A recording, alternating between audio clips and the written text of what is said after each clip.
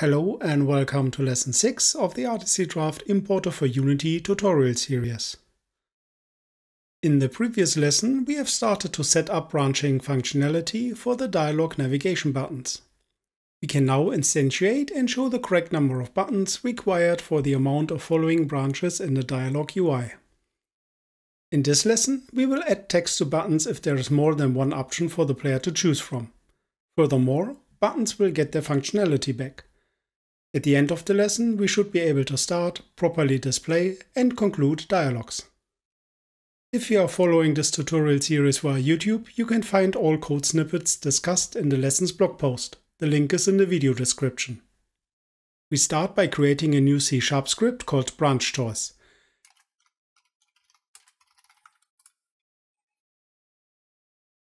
and add it to the dialog branch prefab. This script will be responsible for the UI control of a single option in a multiple choice dialog.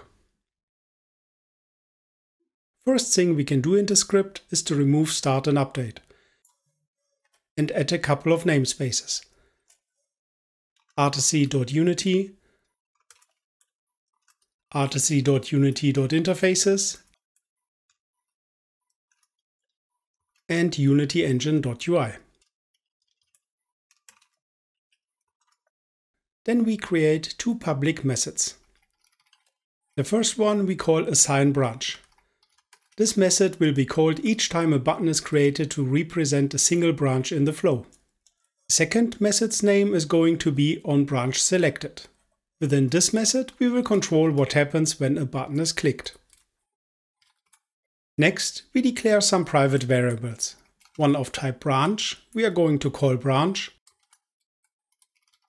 one of type Articy flow player called flow player, and one of type text called button text, which we open to the editor via the serialized field attribute.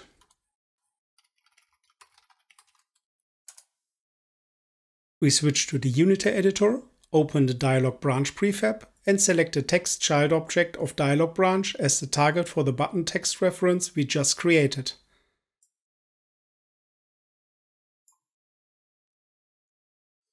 Then we can get back to the branch choice script. First we add two parameters to assign branch. Articy flow player, a flow player, and branch, a branch. Within the method we assign branch the value of a branch and flow player the value of a flow player. Then we declare a variable target of type iFlow object and initialize it to the value of a branch.target. Followed by assigning button text.text the value of an empty string.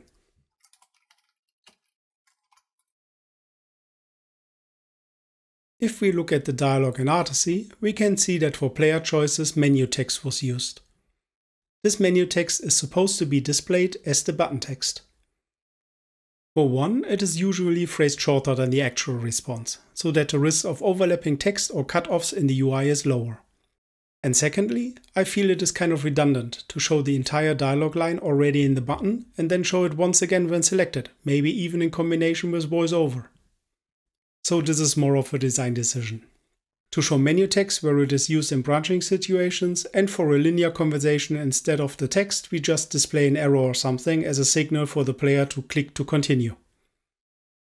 For our script that means we first check if we have any menu text that we could display.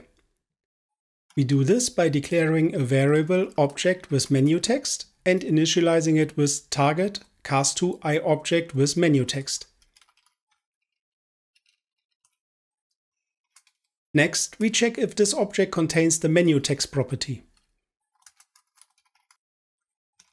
If the statement returns true, then we assign button text.text the value of object with menu text.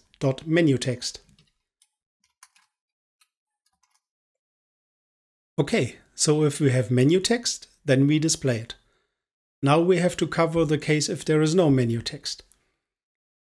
Let's say you wanted to display the entire dialog line if there is no menu text. In that case, we start with another if statement, checking if the button text.text string currently is empty or a null.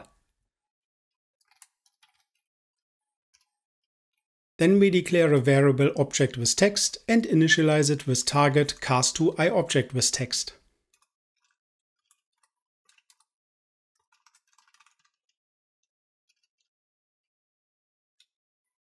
Next comes our usual safety check to make sure the object is not null. If it is not null, so if there is any text property, we assign button text.text the value of object with text.text.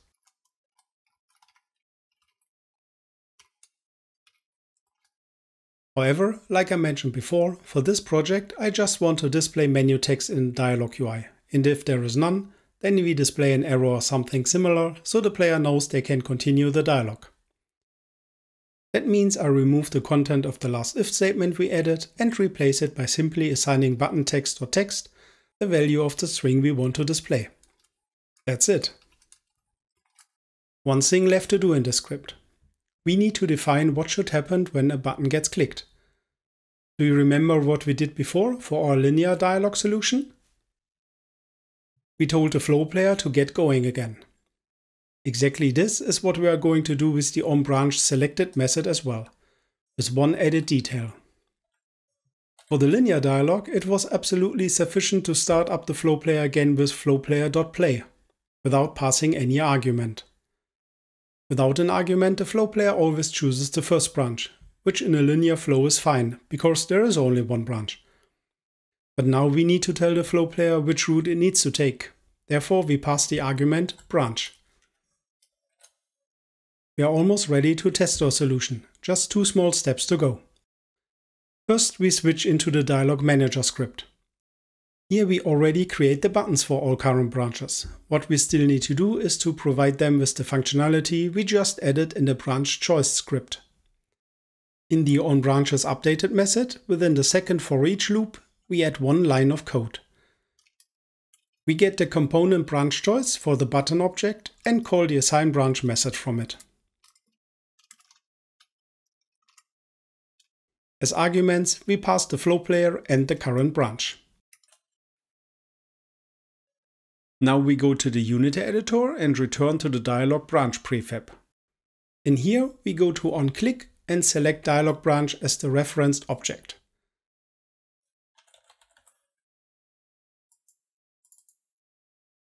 In the function dropdown, select branch choice and then choose on branch selected.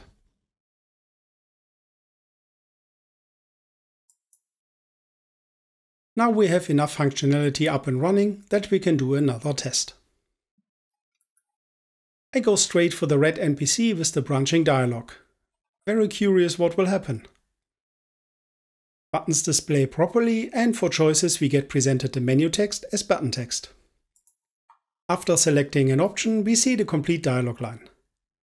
To just move the dialog along, we see the continue symbol we opted for. Only thing missing is the button to end the dialog. But it will not be missing for much longer as we will take care of it right away. In the Dialog Manager script, we add a game object called close prefab and open it to the editor via the serialized field attribute.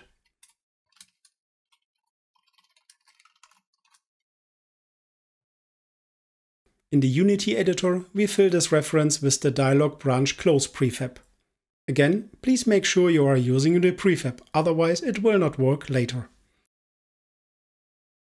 Back in the Dialog Manager script, we are basically going to do the same thing as before with the navigational button, only this one gets another listener. In on branches updated, we add an else clause. We are now covering the case when the dialog is over. We can copy the code line regarding the button instantiation from above. Only thing we need to change is that we instantiate closePrefab instead of branch prefab.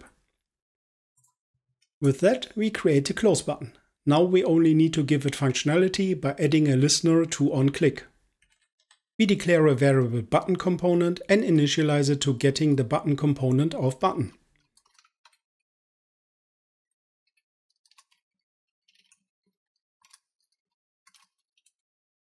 Then we add a listener to onClick for button component and call close dialog box.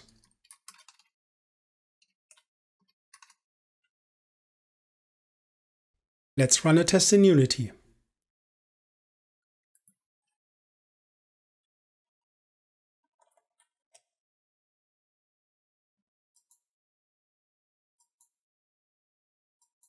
The linear test dialog is displayed correctly and ends with the deactivation of the dialog UI.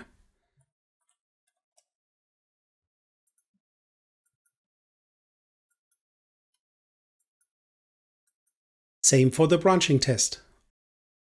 Awesome! With that we have arrived at the end of this lesson and almost at the end of this tutorial series. We added text to choice buttons and implemented button functionality to navigate and close dialogues. We can now start, display and end linear and branching dialogues. In the next lesson, which will be the final one in the series, we will learn what is necessary to handle more complex dialogues which use some scripting logic and global variables. Then we conclude the series with some tips on how you can continue building upon this foundation we have created for the articy importer for Unity. See you there!